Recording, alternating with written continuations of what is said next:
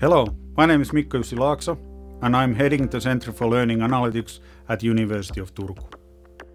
The center strives to be an ambassador of digital education in Finland, and we employ teachers, experts, and researchers from many different fields. We also work closely with the Finnish schools and teachers to develop research-based and practical solutions for the field. We are developing the number one digital learning platform in Finland, ViLLE, the collaborative education tool. The platform includes many digital learning paths with weekly lessons with interactive and gamified exercises. The exercises are aligned with the curricula, and every year learners are completing more than 150 million interactive tasks.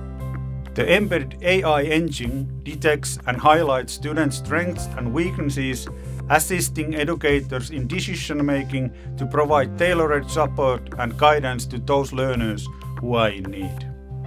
The provision of such features has been linked not only to the better learning outcomes and achievements, but also to the identification and prevention of le learning difficulties and dropouts.